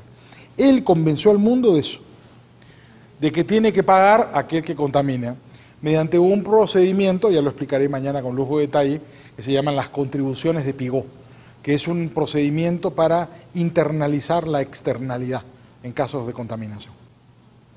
¿Qué pasa si para la sociedad del mundo. No queremos tener un criterio de alguna manera más o menos sistemático para encontrar quién es el que debe pagar, sino que simple y sencillamente nosotros sí queremos entrar a analizar criterios de costumbre, de usos, eh, si realmente esto, digamos, pensarlo tan tajantemente no contradice la misma formación, digamos, de alguna manera evolucionista, No, lo que pasa es que, claro, como yo les expliqué, la escuela de Yale que es la escuela de Calabresi, eh, si bien también es un discípulo de Coase, se aparta profundamente de la escuela de Chicago, a la que pertenecen Coase y Posner. La escuela de Chicago, ustedes saben, seguramente han escuchado alguna vez el famoso debate metodológico en teoría económica. Chicago sostiene que la economía hace un análisis positivo de las cosas, es decir, estudia las cosas tal y como son. Yale hace un análisis normativo de las instituciones jurídicas postula que, la economía no es solamente el análisis de las cosas como son, sino como deben ser. Entonces, Calabresi, a la hora que estudia la responsabilidad civil en general, lo hace para proponer un sistema alternativo. Y él se inventa un sistema alternativo contra toda la tradición jurídica mundial del derecho comparado. Él dice que los sistemas de responsabilidad civil son ineficientes porque no solucionan el problema del principio de Pareto. En cambio, si se reemplaza la regla del culpable por la regla del previsor racional, que es su invento, se soluciona el problema del principio de Pareto y se busca una solución más eficiente que la búsqueda del culpable. Por supuesto, eso está en materia de discusión. Hay mucha gente que cree que, que Calabresi ha hecho una cosa muy original, pero, digamos, también te mete en un lío, no es de una solución transparente. Pero en todo caso es una discusión bastante original. Él ha pla- planteado una ruptura con el análisis tradicional de la responsabilidad civil, haciendo notar una limitación efectiva. ¿No es cierto? Eh, eh, la determinación del culpable no contribuye a establecer quién hace una utilidad de la imprevisión contractual, porque no responde a esa pregunta. Lo que pasa es que los procedimientos de Posner para establecer al previsor racional, eh, perdón, de Calabresi son también bastante complejos, ¿no? Y podrían ser inclusive basados en algunas definiciones objetivas del valor y del costo que no necesariamente nos solucionan el problema. En general, eso es un, una característica compartida por Calabresi y por Posner, que están formados en la tradición de, de Chicago, de pensar que el costo es un problema objetivo u objetivable. ¿No? que, que es un gran problema tanto en Posner como en Calabresi. Hay eh, un famoso paper de Buchanan contra el análisis económico del derecho, donde Buchanan dice que el análisis económico del derecho es buena economía y mal derecho. No, es muy famoso, ese paper está publicado en un ensayo que se llama Ten Landmark Papers sobre análisis e- e- económico del derecho. ¿Cuál es la crítica de Buchanan? Buchanan dice, todas las observaciones económicas del análisis económico del derecho son impecables. Coase, eh, Posner, todo lo que Calabresi ha dicho. Pero todas las propuestas que hacen son un derecho horrible, porque es una cosa constructivista, positivista, creada idealmente que la quieren ajustar a la realidad. Es verdad, eh, eh, estos, por lo menos estos autores del análisis económico del derecho no son muy evolucionistas y sienten un profundo desprecio por la costumbre, por la costumbre y por la ley, porque consideran que la costumbre y la ley están equivocadas de que uno puede en laboratorio corregir los defectos de la costumbre y de la ley, introduciendo instituciones jurídicas que tiendan a la eficiencia económica. Ahora ese es el problema de Chicago en todas partes. También en materia económica es el mismo problema. Lo que no deja de significar que el pensamiento creado por Chicago no sea importante, de que no haya significado una auténtica preocupación por entender el funcionamiento de las cosas. Quiero llamar tu atención además sobre una cosa más, porque hiciste la pregunta. A nivel macro, las fuentes del derecho pueden ser la costumbre y la ley, pero a nivel micro, la fuente del derecho es el contrato. Entonces, ¿por qué Calabresi y Posner insisten tanto en el precio? Porque el- el contrato es la ley entre las partes. Entonces, si yo pacto algo, esa es mi fuente del derecho. Entonces, ¿cómo resuelvo yo el problema de un incumplimiento de un acuerdo? Examinando el acuerdo. Creo que eso es una observación válida. Decir, oye, no te vayas a otro sitio. Examine el acuerdo cuando el acuerdo se produjo. Y pregúntate por el precio, dice Posner. Porque ahí está la información que no encuentras. Esa información que quieres sustituir por constructos, ¿no? El buen comerciante, el buen padre de familia, la común intención, la buena fe. Esos son con- con- constructos. Eso tú lo haces porque no encuentras manera de solucionar el problema. ¿Por qué? Porque no sabes economía. Por lo menos el derecho se escribió, la ciencia jurídica se escribió antes que la ciencia económica. Y los grandes juristas del pasado no sabían nada de economía. La respuesta está en sencillamente un poquito en microeconomía. El precio transmite información. Y podemos solucionar un problema de incumplimiento contractual simplemente examinando el precio. ¿Por qué? Porque a nivel micro, el contrato es una fuente de derecho. Muchas gracias y hasta mañana.